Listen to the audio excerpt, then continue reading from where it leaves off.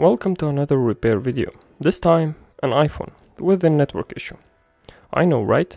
An iPhone with an issue. That's not right. I mean, you pay for your iPhone almost a thousand dollars and you have an issue with it. Anyway, as you can see, there is an issue with the phone, and that's why he can't activate. And the issue is that there is a no modem firmware or an IMEI number.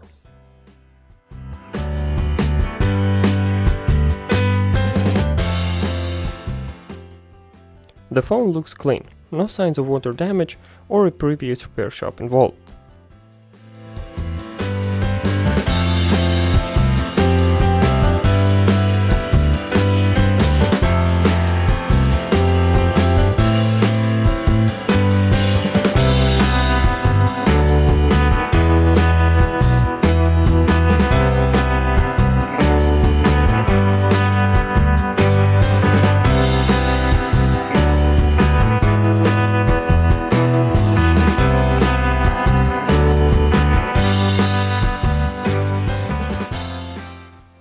So, as always, thanks Apple for your contribution in making the life of a repair community harder by making me remove the battery to remove the board from the housing.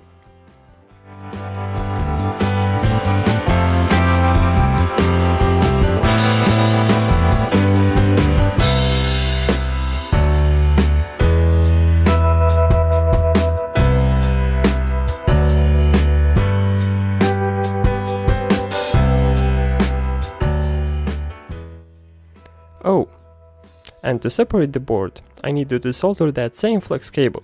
Good job, Apple.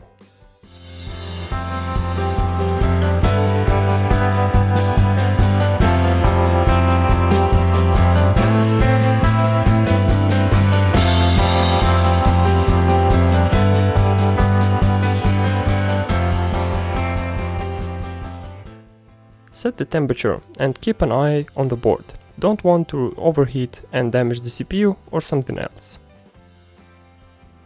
Next, the basic cleaning process of cleaning the pads, which takes forever. Again, well done Apple.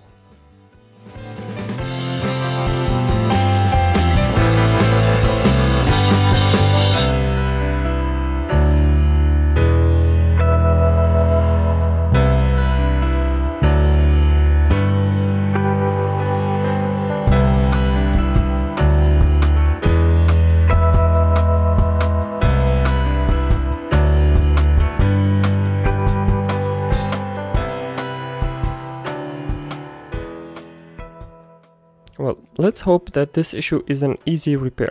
And let's connect the board with this Spider-Man tool. And then try and so restore the phone to see if it was a bad soldering joint that caused our not able to activate the phone issue.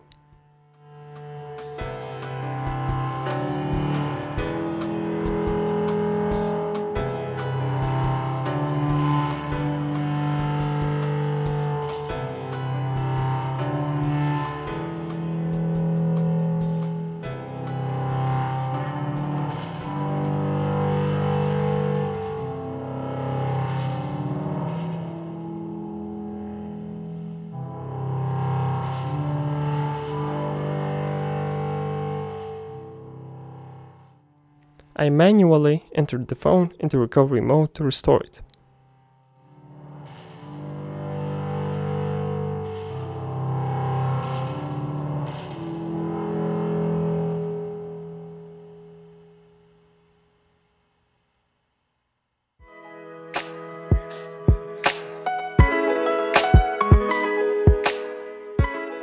One eternity later.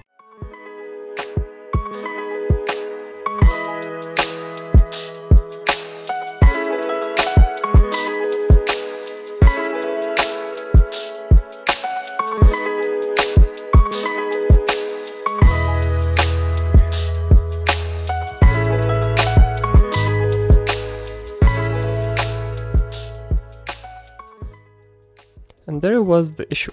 A simple bad soldering joint between the boards. Eventually. But to make sure everything is working, we'll activate the phone and insert a SIM card to check the network of the phone.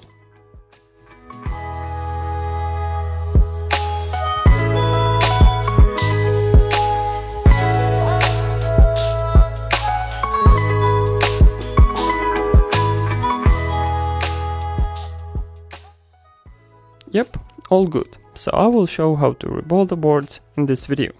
As in the other videos, I didn't show that.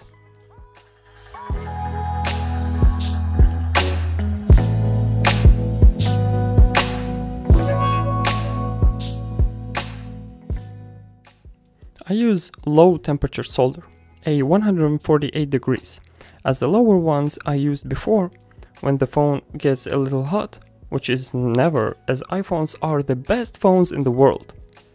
The solder joint crack, causing a separation between the boards which leads to some functions not working in the phone. There is a higher 158 degrees solder, which I don't use as it requires higher temperature to reball the board which could cause damage to the boards while reballing. Well now, I like using this solder and recommend it as its temperature is optimum for reballing.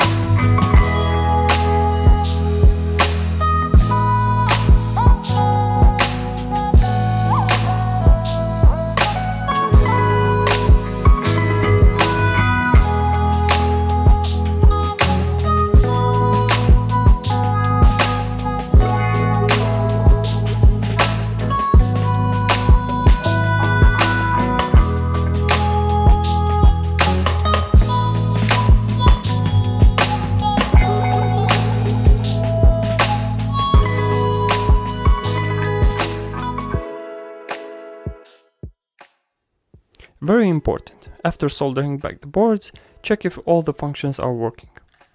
So that will be it for this video, I hope you enjoyed it. And if you did, hit the like button and consider subscribing to the channel for more interesting repair videos.